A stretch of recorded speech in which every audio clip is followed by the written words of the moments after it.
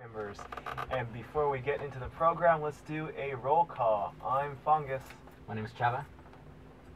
My name is Vonya. I'm Terrence Stewart. Cool. Yeah. And joining us today is Vonya. Uh, would you like to introduce yourself and the organizations that you work with? My name is Vonya Quarles, and I'm the co-founder and executive director of Starting Over, and we are a transitional housing and reentry service provider serving Riverside and Los Angeles counties. And one of our projects is the Riverside chapter of All of Us or None. Oh, cool. So, um, what kind of activities or what kind of uh, things have been going on with the organizations, and um, what, what what other projects are you uh, working on right now? With the Riverside All of Us or None project, it's about a year and a half uh, strong now, and we've been in the organizing process, and now we're currently working on what we call Ban the Box, or actually it's called Fairness in Hiring Bill. And what we want to do um, at the local level is ask the city, just the city, to stop asking people if they've been convicted of a felony before allowing them to go through the employment process. Well, why, why do y'all feel that, that that's important?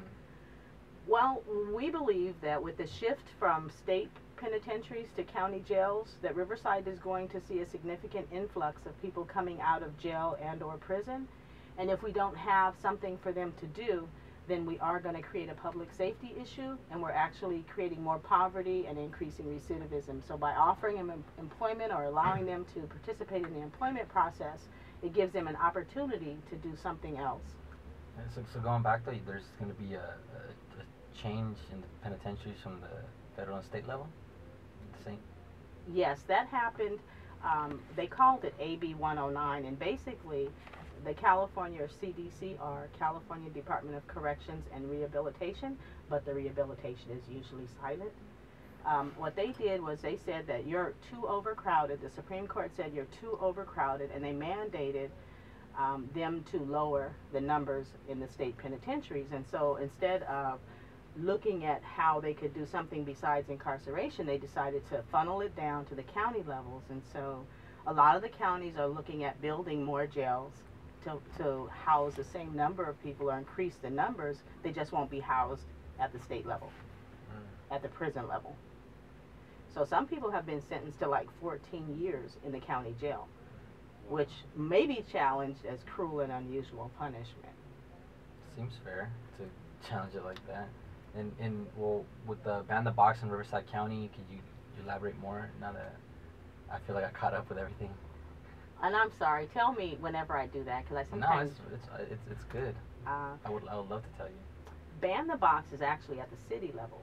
Um, the strategy was to do it at the city level first and see if we could do that, and then go to the county level. So at this point, the Riverside ban the box is at the city, and we're saying to the city to re-examine your hiring policies and practices because at this point it discriminates against people who have been formally incarcerated. Um, they don't have a box on the employment application for the city. A lot of cities and, and uh, localities like counties and stuff have gotten smarter than having the box on the application.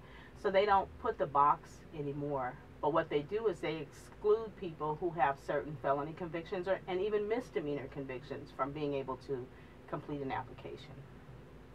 So, So- in, I'm sorry. No, go, no, go ahead. Go ahead. So in effect, what it does, it does um, prevent certain people from um, going across this employment barrier, and that's what we call it. And uh, it's a barrier to employment. So how how would banning the box benefit society at large?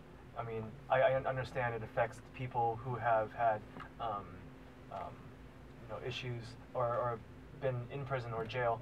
Um, but how? What about the rest of people? How does it benefit the community? The state of California incarcerates more people than any other state in the United States. And our country as a whole incarcerates more people than any other country on the planet. So we've definitely done our share of criminalizing our society. And when we do that, though, not only do we affect the person that's incarcerated, but that person's family, by extension, that person's community, uh, we see it in the schools, we see it in, in higher education. It just it impacts us, and then people who own property pay taxes to support a budget that's taking from education and redistributing that money to the prison industrial complex. What are some of the in the going back to letting people or, or funneling people back out, out of prison? What are some of like the parameters or the guy like how are they basing who gets out? You mean to go from instead of going to prison to the county? Yeah, yeah. Oh, their their um, term is they take the non non non. Three nuns. Yeah, three nons. Okay. Three nons. Non-sexual, non-violent, and non-serious offenders are the people that are being uh, shifted from the state down to the county level. Um, and there was money that was supposed to be for what they call reentry because they understand that recidivism numbers are the, the high rate that they are now, which is about 70%, because we're not doing something in the community to allow these people to reenter society. So they take the non, non, nons, and money was to be allocated to reentry. Um, the breakdown across the state is that money ended up with sheriffs, um, district attorneys, and mental health got a portion of it. So pretty much the bulk of the money went to the same people who have an interest in incarceration. So it's kind of like an ethical dilemma or something that makes you go, hmm, is that right? You know, is that really going to work? But that's where the money's been allocated to. The sheriffs have the lion's share of the reentry money, with very little money trickling down to community-based organizations. And I'm, I'm, I'm assuming this is the motivation for all of us none a year and a half ago when you and friends of yours started this organization. Yes, and I'm going to defer to Terrence on that because Terrence is probably one of the earliest um, all of us or none members, and so he's he's been around. A lot of our clients are formerly incarcerated people, so many of them are all of us or none. But Terrence wasn't a client. Terrence had, well, let me let Terrence tell what Terrence does. Oh man, um, with all of us or none. I don't know. I came in like with all of us or none, and because I under I worked with the Compton chapter, you know, and um, I came to Riverside and I was intrigued with what they were doing, and like we first came and we were fundraising and then for backpacks for the youth, you know, I mean, who, who parents were like either incarcerated or formerly incarcerated, and then we passed out like about I think what, like 70, 80 I'm, I'm like, I may maybe way more. I know we packed a whole lot of backpacks, you know. It was like a real good feel, you know what I mean? And then like to, like to come to be part of an organization that like has a concern of helping people with um who who, who are formerly incarcerated, you know what I mean, get get on their feet and take care of their family and take care of their own, you know what I mean, instead of like asking for a handout or anything. I feel like that was real empowering and I wanted to be a part of that. It, it, to me, it makes a lot of sense because you guys, I mean, on our notes, we're calling it fairness in hiring. Is that like a for Ban the Box fairness in hiring is the the name that you're campaigning under? Yes, there there is a local Riverside um, campaign, but there's also state level campaigns right now. So Dickinson is the assembly member who has one bill, and there's a second bill, and I think it's eight. Let me give you the bill numbers.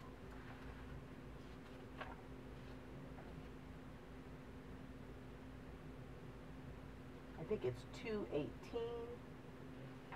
I should get back to you on those bill numbers because I'm probably going to give you the wrong Do you have a, a website for the? You can go to leginfo.org and find out about um, the assembly bills, or you can go to Riverside All of Us or None, and we'll have the bill information there. You just search that online, Riverside All of Us or None. That's the it website, Dot com.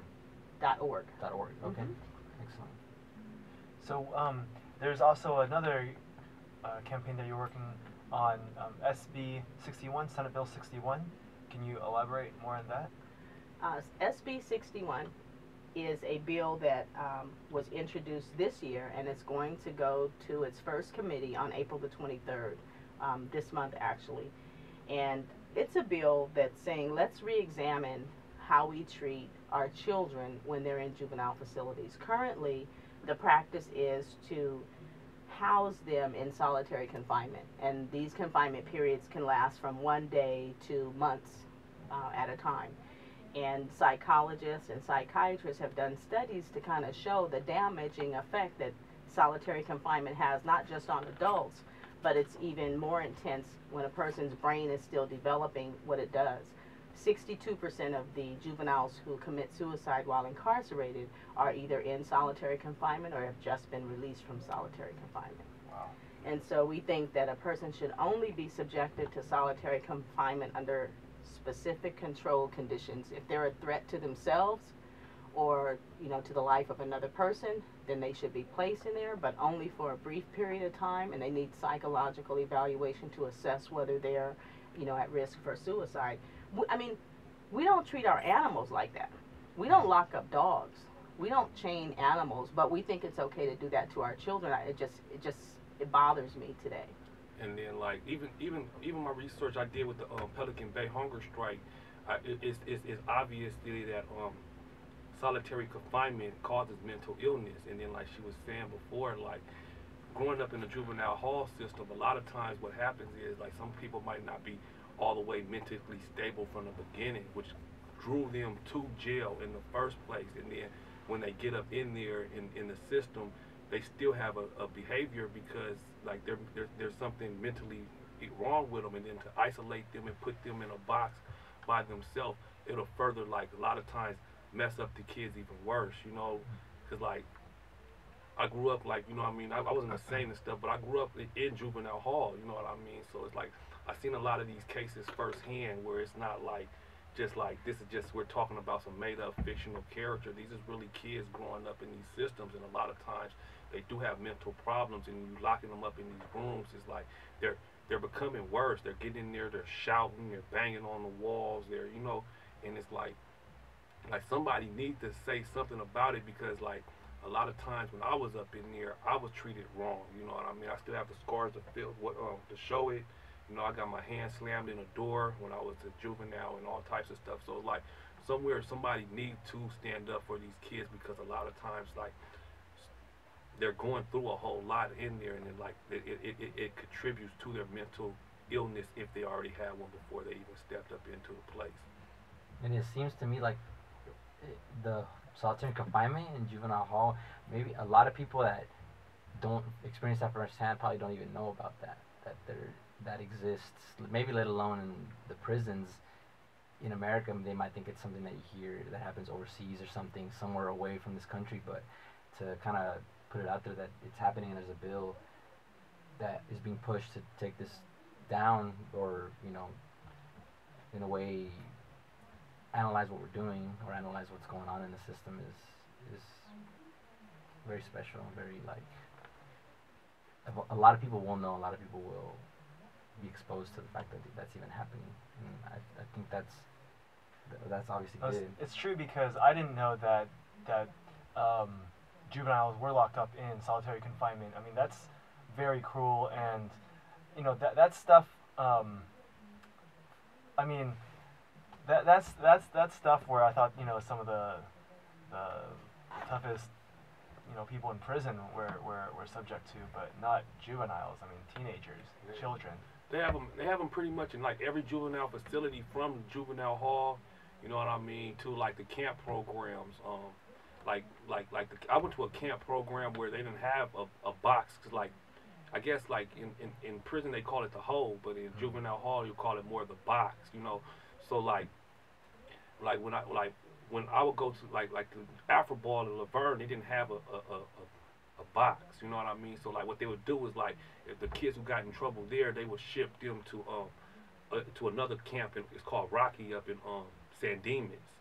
You know what I mean? So like you'll go to the box up in um San Dimas, and um and like like like you know what I mean. That's where they have you isolated, and it's like a social death. Like you'll be in a cell by yourself for 24 hours.